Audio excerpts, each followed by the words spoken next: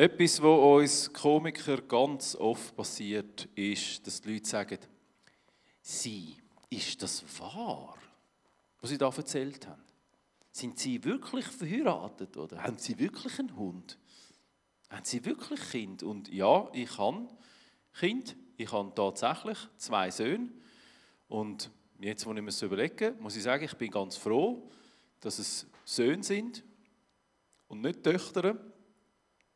Also, das musst du nämlich mal überlegen. Oder aus, aus Söhnen werden Männer, aber aus Töchtern Frauen. Oder? Und ich habe nichts gegen Frauen. Ich finde Frauen super. Ich bin schon seit Jahren ein riesen Fan. Aber ich glaube, ich wäre nicht so ein Fan, wenn es eine Tochter wäre von mir. Weil ich glaube, ich wäre einfach kein cooler Vater für eine Tochter. Weil ich kann mir genau vorstellen, wie das abläuft. Oder? Dann wird die irgendwann grösser, plötzlich stehen irgendwelche Kollegen vor der Hütte, die sagen, ist Lena da? Oder? Dann würde ich sagen, Moment, wer will das wissen? Hey, mein Baby ist erst gerade noch in Kinski gegangen. Jetzt ist sie 13 und sieht aus wie 20. Oder wenn ein Bub 13 ist, dann hat er Bückel im Gesicht, seine Turnschuhe stinken und er benimmt sich wie ein Zehnjähriger. Viel einfacher. Oder? Und wenn dann ein Bub das erste Mal eine Freundin hat, dann sagst du als Vater, jawohl, ganz der Pappe. Aber bei einem Mädchen doch nicht. Hey, geht's nicht? Jetzt hast du erst gerade noch Regenbögen gemalt und jetzt schminkst du dich, spinnst eigentlich. Und ich kann mir genau vorstellen, wie es immer schlimmer wird. Oder? Je grösser die Oberweite, umso schlechter werden die Noten.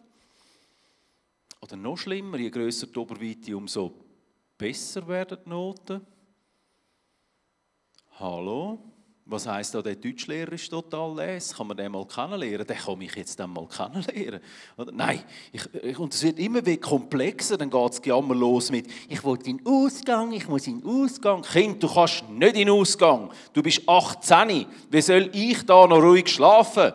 Und am Schluss kommt die noch heim und hat zuerst mal einen Freund. Und da müsste ich dann schon noch ein Wörtchen mitreden. Weil, was wäre, wenn ich fände, dass das nicht richtig ist?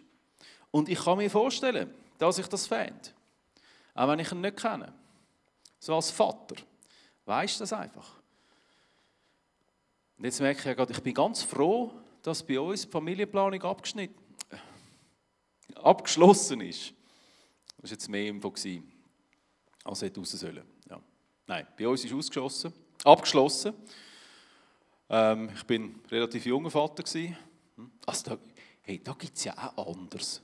Hey, zum Teil lese ich von Leuten. Ich habe jetzt gerade gelesen vom ähm, Billy Joel, weißt du, der, der Sänger aus den aus der USA.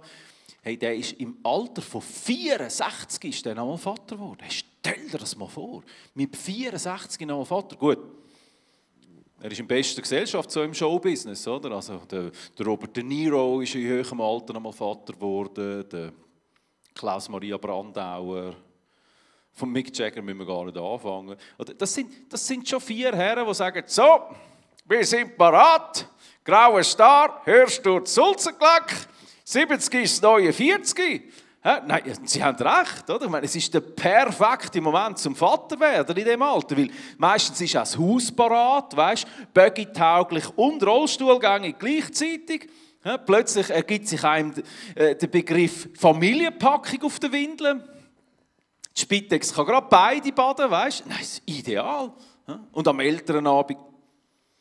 Darum heisst es Elternabend, weil die Eltern immer älter werden. Früher hat es geheißen, wir sprechen Hochdeutsch, damit es alle verstehen. Jetzt heißt es, wir sprechen etwas lauter. nein, hey. Wenn ich mir vorstelle, mein Vater wird Vater, also er wird es nicht. Ich meine, hallo, der geht jetzt auf die 80 zu.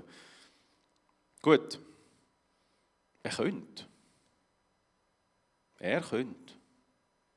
Ja, äh, zu viel Info, vergiss es. Also klar, er müsste das ein oder andere Detail umorganisieren.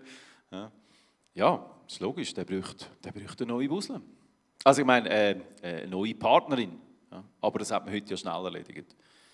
Gehst ins Internet, klick, klack, zwei Tage später, ding dong, steht sie vor der Hütte, hallo. Ja, und, und das wäre meine Stiefmutter. Und die wäre sehr wahrscheinlich jünger als ich. Und sie wäre auch jünger als meine Partnerin, die ja die Schwiegertochter ist von meinem Vater, die älter ist als seine neue Partnerin, die seine Ehefrau ist und meine Stiefmutter. Stell dir mal die Situation vor. Und stell dir mal vor, die Stiefmutter wäre jetzt schwanger.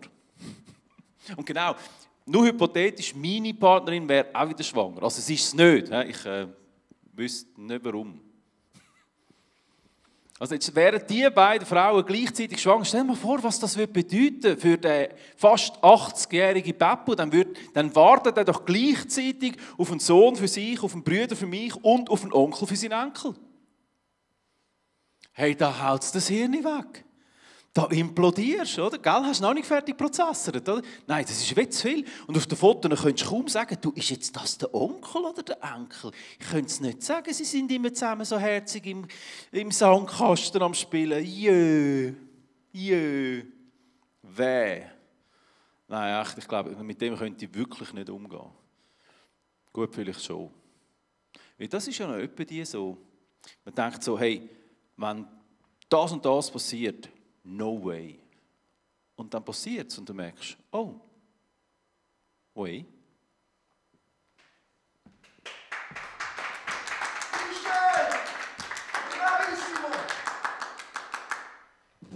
Der Herr Gammenthaler. Habt ihr gesehen, auch nicht viel versprochen. Geht online, Michel Gammenthaler, holt euch Tickets, wenn die neuen Termine rauskommen für seine Show Bluff.